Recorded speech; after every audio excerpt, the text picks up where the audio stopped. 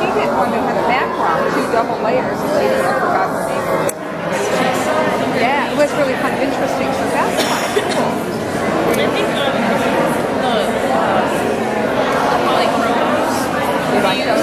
Yeah, I've got every branch, but yeah. a little bit of each. I started with crimson.